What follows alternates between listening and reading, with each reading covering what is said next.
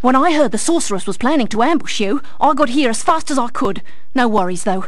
This wussy green toad will be no match for the two of us.